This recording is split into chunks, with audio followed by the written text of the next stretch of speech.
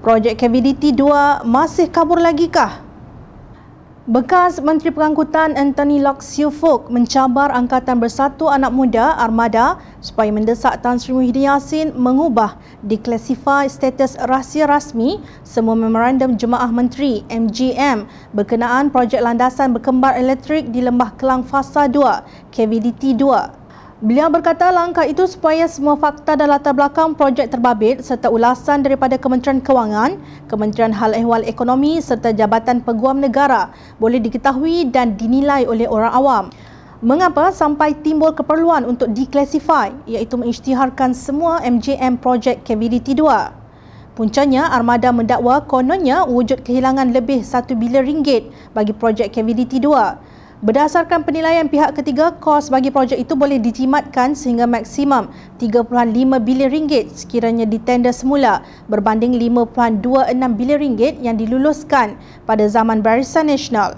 Namun pada 5 Julai 2019, kerajaan terdahulu memutuskan untuk meneruskan projek KVDT 2 kepada kontraktor daya maju LTAT Sdn Berhad dengan kos 4.475 bilion ringgit termasuk pengurangan skop kerja kata Ketua Penerangan Armada Badrul Munir pada sidang akhbar baru-baru ini.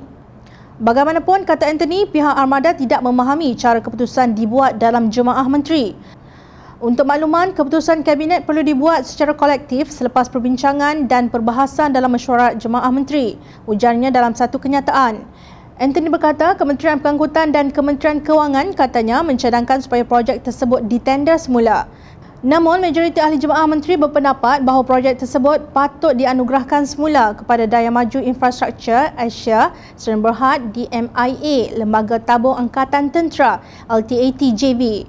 Ini kerana beberapa faktor seperti pengurangan kos yang dipersetujui sebanyak 15%, risiko tindakan undang-undang oleh kontraktor terhadap kerajaan akibat pembatalan kontrak yang telah ditandatangani oleh kerajaan terdahulu, kepentingan LTAT dalam projek tersebut dan supaya projek tersebut boleh diteruskan tanpa kelewatan. Antara menteri yang paling lantang menyokong projek tersebut dianugerahkan semula kepada DMIA LTAT JV ialah seorang menteri dari Bersatu yang masih duduk dalam kabinet pada hari ini, tegasnya.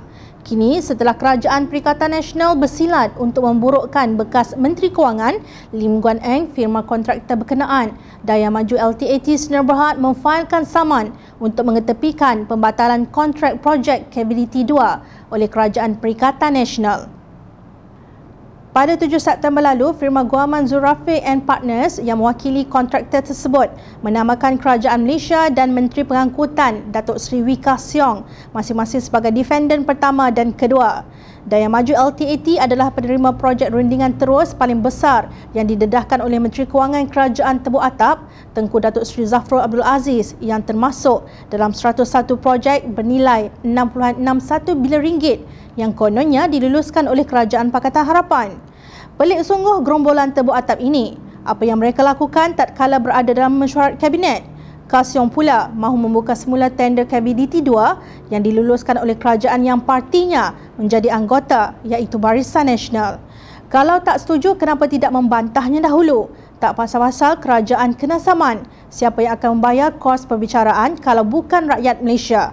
Pihak Armada pula mahu Guan Eng menjelaskan perkara berkenaan terlebih dahulu sebelum melaporkan kepada Suruhanjaya Pencegahan Rasuah Malaysia SPRM. Eloklah laporkan sahaja kepada SPRM mengapa dulu kosnya melambung sampai 5.26 bilion ringgit. Begitulah apabila sindrom bebalisma menyerang otak, berpuluh kali dijelaskan pun akan tetap kabur seperti video semburit disandarkan.